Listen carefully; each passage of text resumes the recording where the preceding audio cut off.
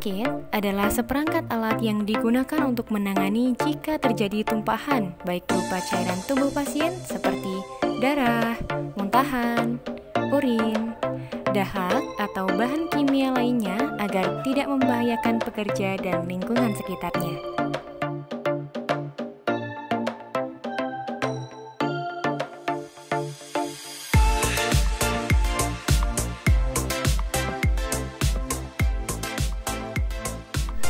Tujuan sebagai acuan penerapan langkah-langkah untuk mencegah infeksi pada pelayanan kesehatan dan mencegah dampak akibat tumpahan bahan kimia.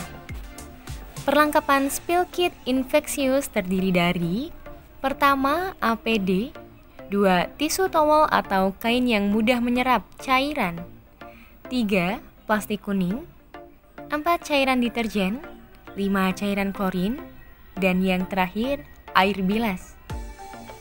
Perlengkapan spill kit kimia terdiri dari 1 APD, 2 tisu towel atau kain yang mudah menyerap cairan, 3 senter, 4 pot plastik, 5 plastik kuning, 6 serok, 7 cairan deterjen, 8 cairan klorin, 9 air bilas, dan yang terakhir pasir.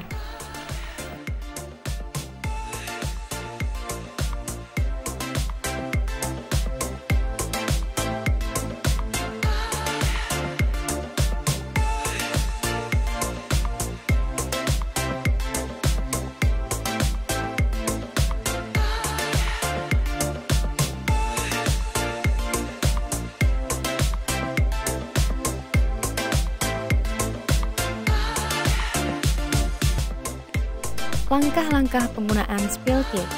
Pertama, siapkan peralatan spill kit. Dua, beri tanda dengan menggunakan papan peringatan pada tumpahan tempat tumpahan cairan. Tiga, gunakan APD sesuai urutan sesuai dengan PMK nomor 27 tahun 2017.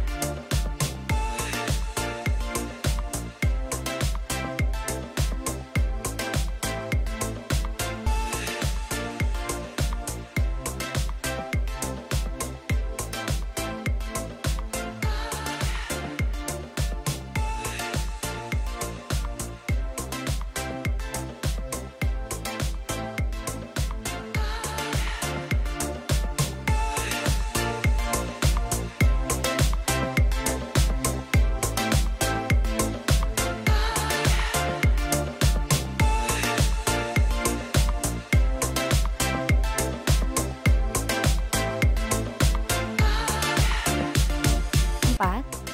Serap tumpahan darah atau cairan tubuh menggunakan tisu atau lap sekali pakai.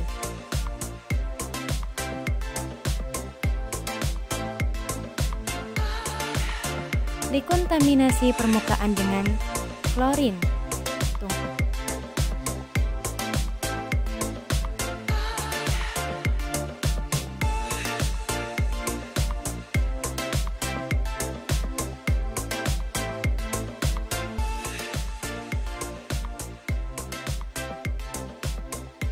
'Bersihkan tumpahan darah atau cairan tubuh dengan deterjen dan bilas dengan air.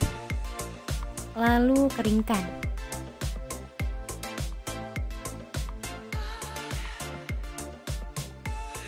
Tujuh, kelola limbah dan peralatan sesuai prosedur.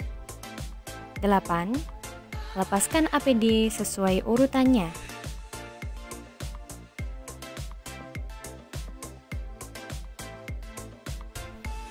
9. Lakukan kebersihan tangan atau hand wash.